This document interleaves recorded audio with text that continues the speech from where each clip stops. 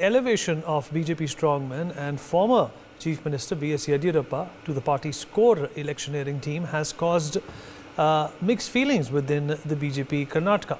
The ruffled feelings forced the High Command to send in party seniors, including National General Secretary of Karnataka Arun Singh and Union Minister Dharmendra Pradhan, to assuage the Netas. Can the BSY magic work on more voters as well? We'll talk about this with our guest. Joining us on the show is uh, Prashant GS, BJP spokesperson. Also joining us on the show is Lavanya Ballal, Congress spokesperson.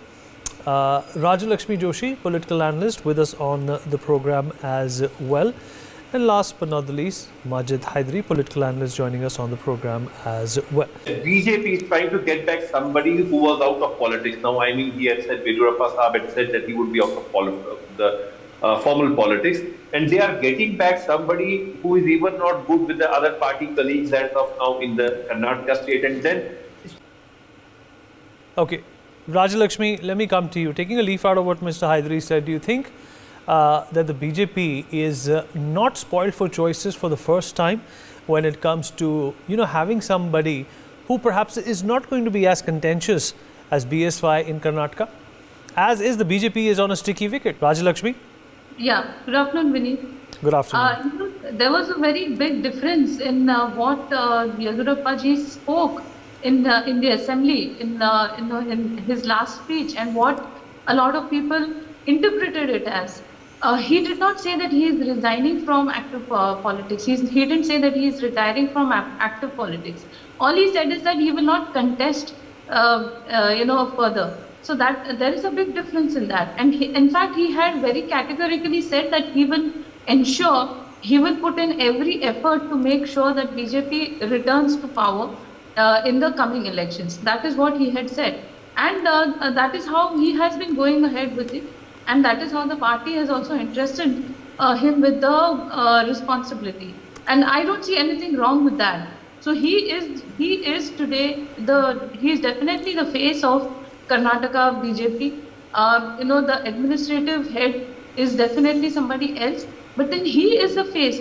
He is somebody who is connected with the people of Karnataka. The, he is uh, the one of the tallest leaders there. So uh, I don't see anything wrong in that. In fact, uh, you know, he has been saying uh, uh, very, you know, categorically that all those charges of corruption, etc., they have to be investigated. Due, due course of action will follow. You know, all, all of that he has been saying. So he is not supporting anybody who has been accused. He is not taking any wrong steps.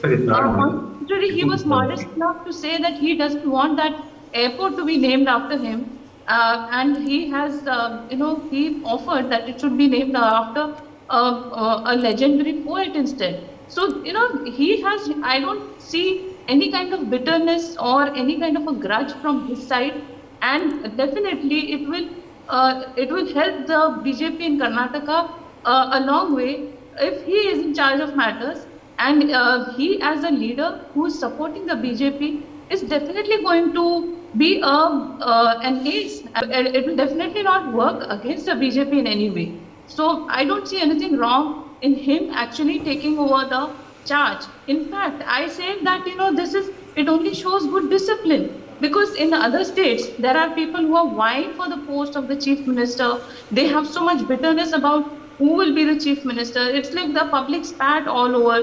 Even in uh, even in Karnataka also, if you see the Congress, there is a huge uh, public spat about who's going to be the chief minister. So here he has very readily stepped down, and not only that, he continues to support the BJP.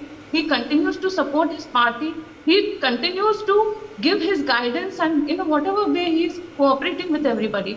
I think that shows a lot of cooperation. Uh, uh you know, it is definitely a lot of good discipline also. So I think that other parties can take a leaf out of that and they can understand how to treat their stalwarts rather than uh, you know making fun of uh, all these kind of situations. So I think that uh, he is doing the right thing, and that the BJP uh, central you know heads also are taking the right decision and making sure that he is very much a part of this campaign. Okay. All right, Mr. Lavanya Ballal. Yediyurappa I think, deserves more. He deserves better, is what we feel from the opposition. And it's always good if parties have their internal problems sorted. It is not good for you know, it, it may be very good for the opposition parties to take advantage of a broken house, but um, um, house which is in order is good for the state. Acknowledge that is a very big uh, regional satrap in Indian politics. We also uh, would like to remind BJP that they denied Vijayendra an MLC ticket when Mr. Yediyurappaji sought an MLC ticket for his son last year. If Yediyurappaji was so important and if they valued Yediyurappaji so much, then they would not have denied a ticket to Vijayendra. Of course, they have given him a bigger organizational role.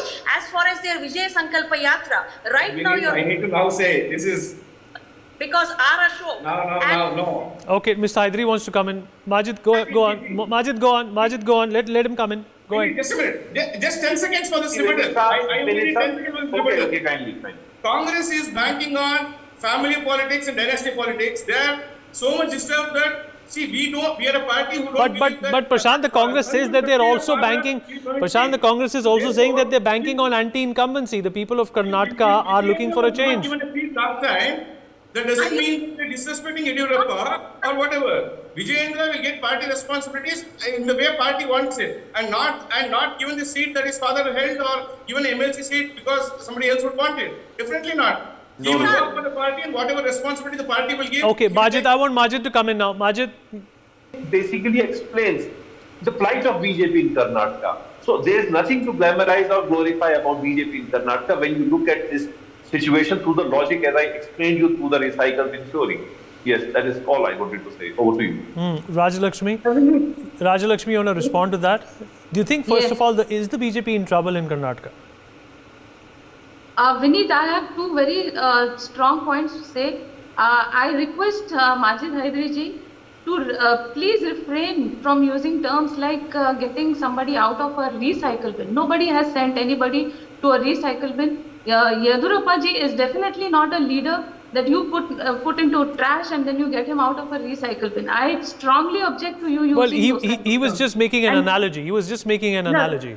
No, but uh, but that is a very wrong term, uh, uh, Vineet, because uh, you know, and I have said right at the start of what I spoke uh, last that he had not ever uh, re- retired from active politics. He had said that he will not contest elections. There's a huge difference there. And uh, another thing is, I hope I heard uh, heard it right when Ms. uh, Lavanya Ballal said something like, uh, you know, Yediyurappa ji was disrespected by not giving his son a ticket. I mean, is that what she said actually?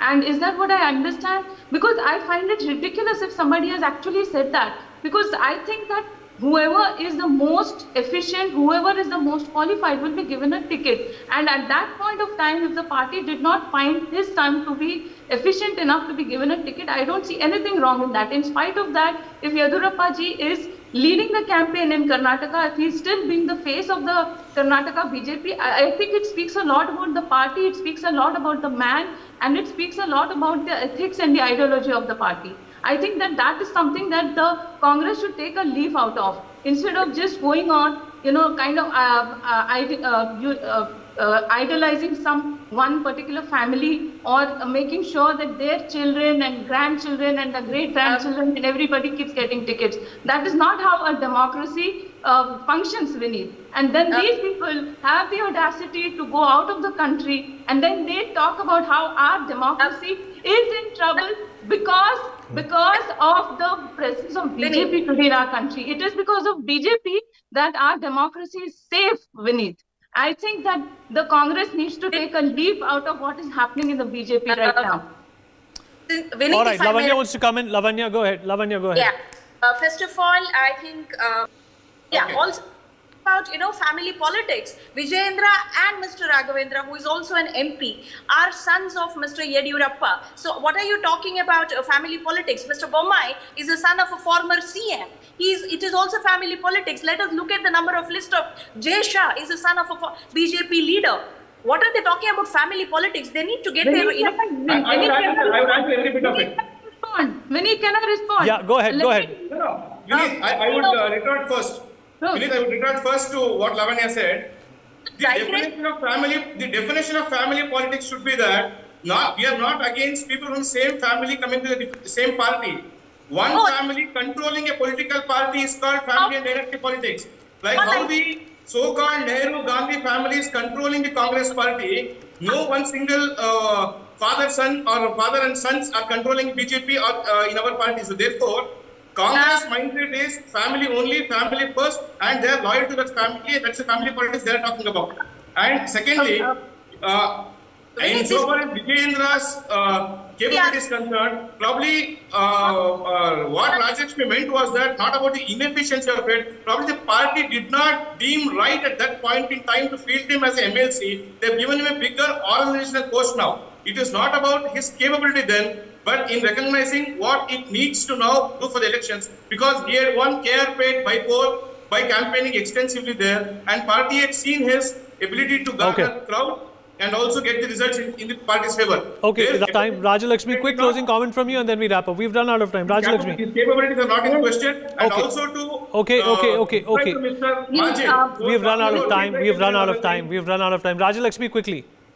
Yes, uh, Vineet, uh, what I was saying at that time was that at that particular time, the party thought that the ticket should have been given to somebody else. And I also want to remind the uh, Congress that One Mr. second. Rajnath Singh, Mr. much- Rajnath Singh's son, he, he was denied a ticket for the 16 times, and after that, for the 17th time, he has got a ticket and he has won. He has won with a great margin. But you know, the, the party does not run on something like somebody will be given a ticket because he is somebody's son. But it will be on the basis of Okay. merit, it will be on the basis of the what the party finds the best uh, possible uh, option at that particular time. That is how the All party right, we've run out of time. Thank you everyone for being a part of this conversation.